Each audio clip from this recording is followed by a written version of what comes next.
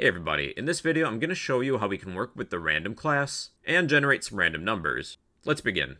To work with random numbers, we'll need to import the random class. At the top of our Java file, we will import java.util.random, much like what we do with the scanner class.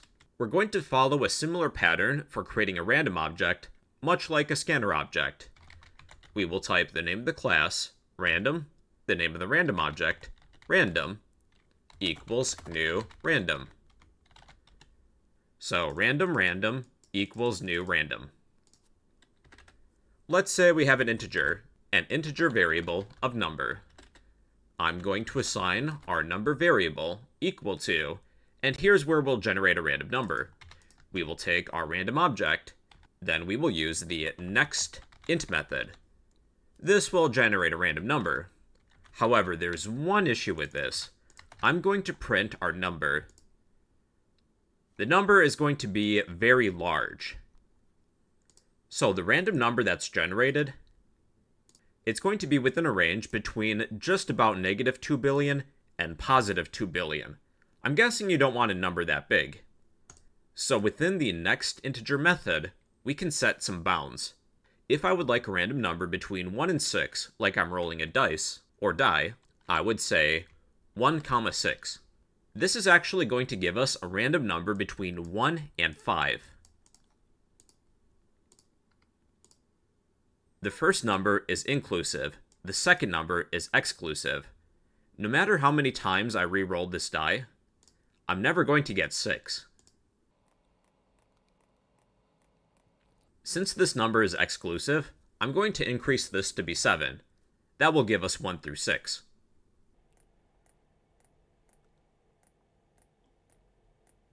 And there's 6. Let's say this time you would like 3 random numbers. You're rolling 3 dice. Let's say we have number 1, number 2, and number 3. All integers. We'll assign number 1 with a random integer. And we'll do this with numbers 2 and 3 as well. Number 1, number 2, number 3. Then we will print them. Number 1, number 2, number 3. 2, 4, 6, 2, 3, 4, 2, 2, 5. Good enough. For random numbers between 1 and 100, the second number is going to be 101, because it's exclusive. So now, we're generating three random numbers between 1 and 100.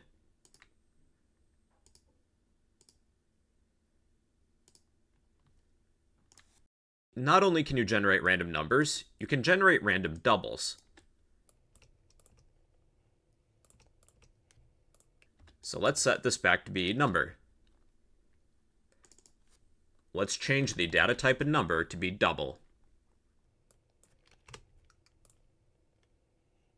We're going to use the next double method.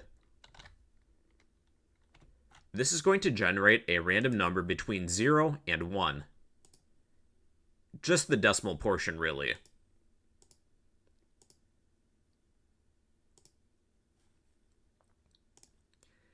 You can also generate a boolean. This might be good in a situation where you need to flip a coin.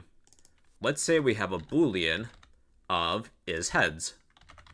When we flip a coin, is it heads? Random dot next boolean.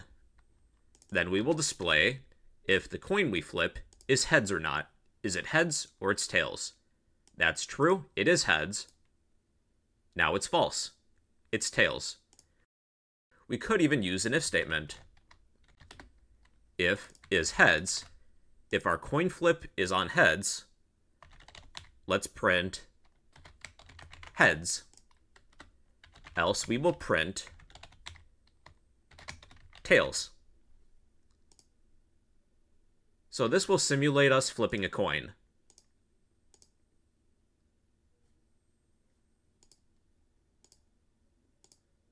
I'm getting a lot of tails.